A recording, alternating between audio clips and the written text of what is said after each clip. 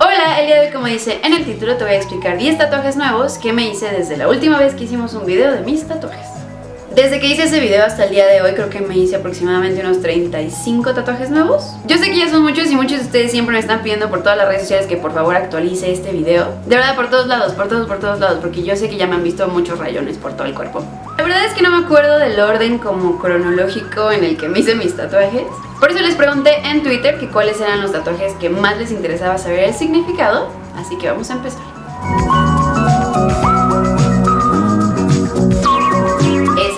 que tengo en mi pierna izquierda, bajito de la rodilla pero del lado lateral, creo que es la pantorrilla. Este tatuaje fue el primero que me hice como sin ningún significado. El tatuador que me lo hizo literal vino unos días nada más al DF y solamente tenía un espacio pequeñito para darme una cita. Entonces yo no tenía como idea de qué me podría tatuar con él. El día que llegué a la cita eh, me dijo, oye pues hice este boceto de este unicornio, ¿qué onda? Y yo, uy sí, está muy bonito. Y ya me lo hizo y me gustó muchísimo. Poquitito tiempo después les pregunté en redes sociales que cómo se querían llamar, si Pony Crew o Chefcitos y así. Y ustedes escogieron Pony Crew. Pues se relaciona con los unicornios, los ponis, y saben el cabello de colores y esas cosas que somos nosotros. Así que este tatuaje tomó significado un poquito tiempo después de que me lo hice y es el unicornio. Y ese unicornio me lo hizo John Mendoza, es de Guadalajara y tatúa la mayor parte del tiempo allá y un poquito también aquí en el DF y estas son sus redes sociales por si quieren que les haga algún tatuaje, cotización o algo así. El siguiente tatuaje es mi muñequita y mi tatuaje como mexicano. Antes de irme a Japón yo ya quería hacerme algo mexicano, así algo super mexa, eh, como cute pero mexa a la vez. Como elementos que a mí me gustan mucho de nuestra cultura mexicana. Y él se puso a dibujar y así bien padre y a mí me gustan mucho unas muñecas de una marca que se llama Marías Inc. Antiguas, mexicanas, pero les dieron un giro como medio moderno. Y le dije que se basara como en esa imagen, como en esa figura. Y aparte que le agregara las flores de cempasúchil y la calaverita de azúcar con el nombre de Pancha. Y Pancha es una historia como medio chiste privado entre las mujeres de mi familia. Cuando alguien hace algo como tonto o así como de, ay, no puedo creerlo, es como, ay, Pancha, ¿saben? Cosas de familia. este tatuaje es el que más me gusta, yo creo, de los que más me gustan que tengo. Eh, y me lo hizo Ignis Inc., un tatuador de aquí de la Ciudad de México. Estas son sus redes sociales, la verdad es muy muy bueno. Él en lo que se especializa es en hacer líneas muy delgadas, en aves y en hacer como caricaturas exactamente iguales, le quedan como estampitas. Es muy muy bueno, aquí están sus redes sociales por si quieren cotizarle algo. Y él tatúa aquí en la Ciudad de México y a veces en Mérida. El siguiente tatuaje es este corazoncito que tengo como en puntillismo en mi dedo. Pues no es nada más que amarme a mí primero y así puedo amar a todas las personas que me rodean, porque si no te amas a ti mismo no puedes compartir ese amor. Y ya, también después formó parte de mi logo. Eh, el logo de Mir Life es como este corazoncito y después un obturador de cámara. Y ya, me gusta mucho, mucho, mucho. Y a mucha gente que me lo ve siempre me dice, ay, si yo me hiciera algo, sería algo así como en el dedo. Perdón por las uñas. Pues ya, si algún día llega el anillo, tendrá que ser en forma de corazón, el diamante enorme. No, no es cierto. El siguiente tatuaje creo que es una de mis piezas más grandes. Son unas matroshkas que tengo en la pierna derecha, aquí no sé cómo se llama. La historia detrás de esa pieza es que mi papá y mi mamá viajaron a Rusia hace ya muchísimos años antes de que yo naciera y trajeron estas matroshkas que se las voy a enseñar. Estas matroshkas que ya me yo, ya yo robé, que ya me yo para mi departamento.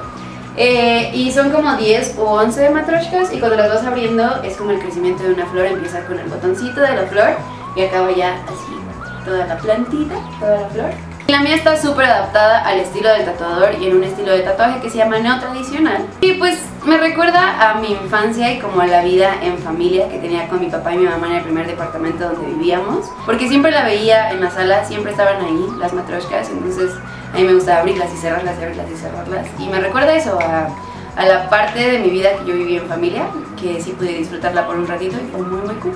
El siguiente tatuaje es este, y es el monte Everest. Pues como muchos de ustedes saben, mi papá Oscar era alpinista y fue bastante reconocido por las travesías que ejecutó. Y una de ellas fue subir el monte Everest.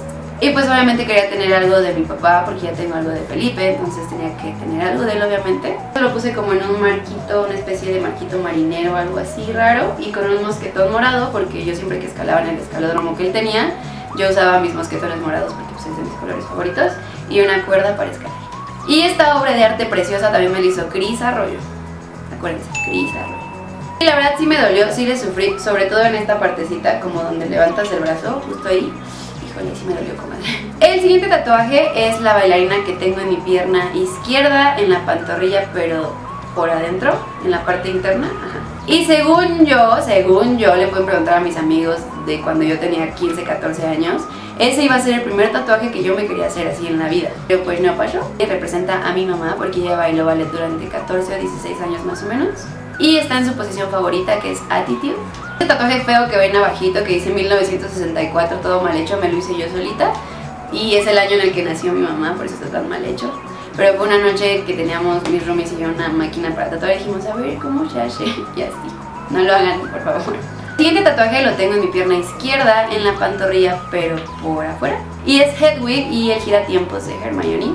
Y pues Potterhead. Pues sí, soy muy fan de Harry Potter y la verdad todo lo de Harry Potter me recuerda a Felipe. El siguiente tatuaje lo tengo en la pierna derecha y es una carta de Sakura Card Captors. Enseñar aquí. Este eh, lo tengo desde hace siglos, de verdad, desde hace mucho tiempo. Y desde que yo vi a Sakura Card Captors en la tele, en el canal 5, yo decía que mi mamá se parecía muchísimo a una de las cartas, pero déjenme encontrarla Aquí está, es justo esta, ahí no se ve por las luces, ahí está creo, ajá. Es la luz de light. Y yo decía que era mi mamá porque pues la imagen que yo tengo de mamá siempre es como cabello chino, línea en la mitad, largo y pelirrojo o castaño. Con la carita finita, como con la barbilla muy así, la nariz también muy muy finita y larga. Eh, yo decía que era ella, entonces me la tatué, pero en vez de que dijera The Light, le cambié a My Light. Pues mi mami es mi mami, es la persona que más amo en el mundo y es mi luz y así, y por eso. Y por último, pero no menos importante, guardé lo mejor para el final, que es el logo de YouTube y el play y pausa que tengo aquí. Les voy a contar, yo hace como 3 años, 4 años, Bueno, hace un tiempo fui a Colombia, a Bogotá para ser exactos, y me quedé a vivir un mes en la casa de Lizu. Justo un día antes de ir yo tuve una cita con Nathan y le dije, oye, este, tengo estos lunarcitos, ahorita les voy a hacer un, un close-up para que lo puedan ver y le dije, quiero justo en ese espacio un play y un pausa. Entonces me lo hice, pues obviamente por todos ustedes y por todo YouTube y por todo lo que significa todo esto, que cambió mi vida por completo. Y como una semana antes de ya irme de Bogotá, nos ocurrió a Lizu, a Sebastián Villalobos, a Mario Ruiz, a Gio y a mí irnos a tatuar algo referente a YouTube. La primera idea que teníamos, ven que cuando YouTube deja de cargar hay como unos circulitos en grises que van cambiando. Queríamos justamente eso con varias tonalidades de gris pero nos dijeron que era muy difícil y que en la piel de algunos nos iba a notar tanto y chuchuchu, bueno, un chorote. Al final decidimos en hacernos el logo de YouTube en rojo y para varios fue su primer tatuaje y muchos de ellos lo tienen aquí, creo.